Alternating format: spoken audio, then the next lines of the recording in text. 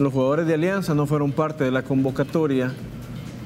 Primero porque no era fecha FIFA y por ende no había ninguna obligación, pero número dos, ni siquiera se hizo el esfuerzo de convocarles porque la Alianza tiene un compromiso importante este jueves visitando al San Carlos. Y precisamente sobre eso es que vamos a conversar a continuación. Alianza ya se encuentra en eh, Costa Rica. Costa Rica.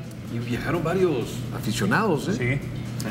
Eh, pues, sigue moviendo la pasión Alianza en este torneo de la CONCACAF. El resultado de la ida le avala también para que los salvadoreños se la puedan pasar bien en Costa Rica y que puedan traerse al Salvador el resultado. ¿eh?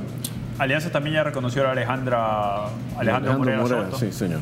Lo reconoció ahora, noche, ahora por la noche. Y el estadio de Alajuela. No puede jugar el San Carlos en su cancha eh, por no contar con las medidas reglamentadas, con los, todo el, el ambiente reglamentario. Juegan en Alajuela. Eh, Alianza. Linda cancha, linda, linda cancha. Muy bonito, un, un- un estadio muy bonito, eh, cerca del aeropuerto. Eh, el Alianza tiene por tercer torneo con CACAF consecutivo, creo que una nota de aprobado. Si pasa a las semifinales, nota sobresaliente. Porque cuartos de final 2017, eh, en 2017-2018 llegó a, a ese gran partido con, con Monterrey y ahora creo que una semifinal sería algo inédito en este torneo para un equipo salvadoreño.